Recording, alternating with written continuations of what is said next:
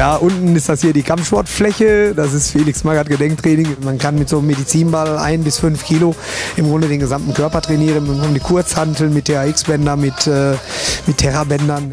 Wenn der Muskel dementsprechend trainiert wird, dann äh, ist er auch widerstandsfähiger.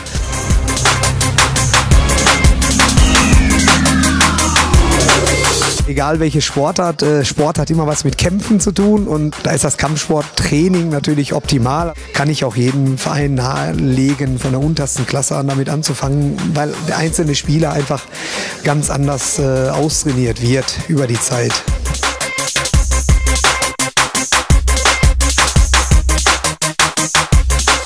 Ich habe ja selber auch mitgemacht und ich muss echt sagen, da kommst du schon an deine Grenze und da musst du schon mal den Schweinehund links von der Schulter schubsen und weitermachen, weil du echt mal kurz überlegst, ey, ob das noch Sinn macht. Aber es macht Sinn und es ist richtig geil. Wenn du das dann geschafft hast, bist du froh und guckst den anderen ins Gesicht und denkst, so, Jungs, die habt auch durchgezogen. So soll es sein, ey.